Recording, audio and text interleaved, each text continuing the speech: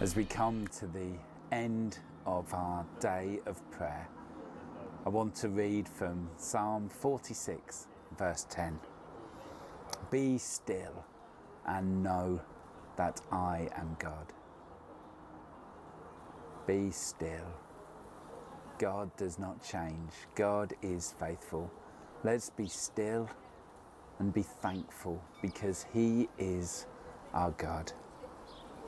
Other translations of Psalm 46, verse 10 say, Calm down and learn that I am God.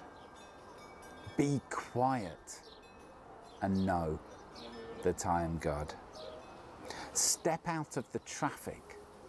Take a long, loving look at me, your high God.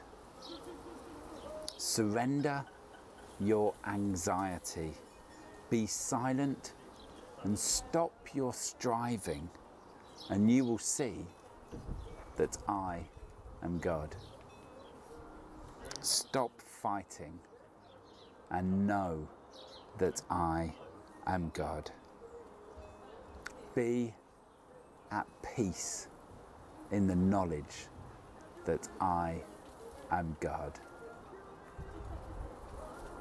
Lord Jesus, we come before you with grateful hearts because of who you are.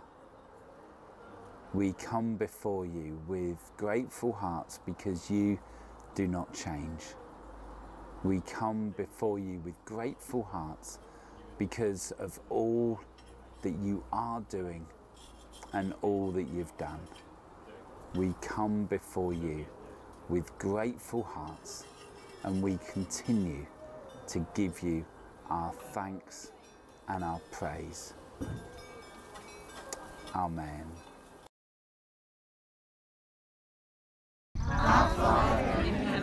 Hallowed be your name.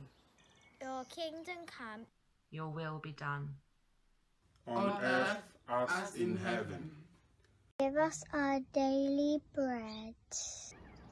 Forgive us our sins as we forgive those who sin against us.